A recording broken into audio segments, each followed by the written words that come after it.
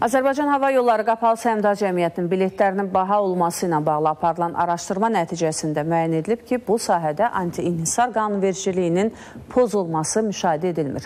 İqtisadiyyat Nazirliyi yanında anti-inhisar və istehlak bazarına nəzarət dövlət xidmətinin rəis müavini Cəfər Babayev 2023-cü ilin yekunlarına həsr olunan mətbuat konfransında belə deyib. Digər məsələlərə də toxunulub. Ətraflı sujetdə. Azalma yanaşı ölkədə bir sıra xarici şirkətlər uçuşlar həyata keçirir. Vətəndaşlar öz seçimlərində sərbəstdirlər. Azal məhdud yerlərə uçuş həyata keçirir. Digər ölkələrə hava reyslərini daha çox xarici şirkətlər təşkil edir. İqtisadiyyat Nazirliyi yanında anti-inhisar və istehlak bazarına nəzarət dövlət xidmətinin rəis müavini Cəfər Babayev qeyd etdi ki, bu sahənin təkmilləşdirməsi ilə bağlı təkliflər verilib. Bakıdan başqa bizdə Lənkəranda, Qəbələdə, Zaqatalada, digər yerlərdə də bizim ə, hava limanları limanlarımız var. Az işləyən hava limanlarının e, ya e, bir xarici şirkətin istifadəsinə vermək, hansı ki, onlar istifadə etsinlər e, və ora əlavə bir bazar genişləndirmək, əlavə və şirkət cəlb etsinlər, ya da ki, yerli idarəçilərə vermək. Biz bu təklifləri vermişik və ümid edirik ki, inşallah gələcək bir zamanlarda bu baş verəcək və hamımız daha da ucuz aviabiletlərdən istifadə edəcəyik. Bir sıra supermarketlərdə rəflərdəki məhsulun qiyməti ilə kassada hesablanan qiymətin fərqli olması ilə bağlı şikayət şikayətlər daxil olur. Bildirildi ki, belə hallar araşdırılır. İstehlakçılar tərəfindən ə,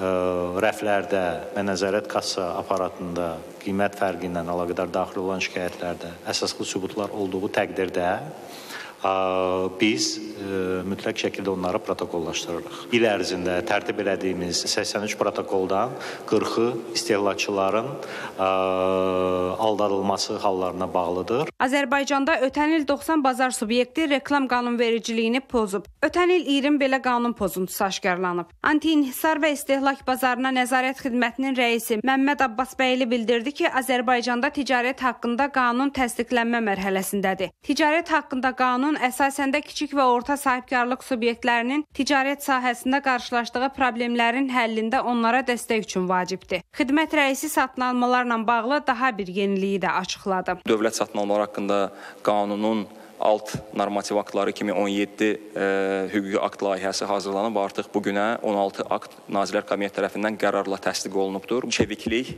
hasanlıq və ə, nəticə yönümlülük nöqteyi nəzərindən bütün satın alan təşkilatlara, eyni zamanda da satın dövlət satın almalarında iştirak edən sahibkarlara müəyyən şərtlər toplusu və digər ə, istiqamətlərdə bir metodiki təlimatla yanaşı bir şablon formalarda verir ki, artıq bu satın almalarda çox hasant iştirak olsun. Bildirildi ki, bu qanunun əsasında BMT-nin və Avropa Birliyinin satın almalar üzrə prinsipləri durur. Turanə Tağızzadə, Rahil Bəhlulzadə, ATV xəbər.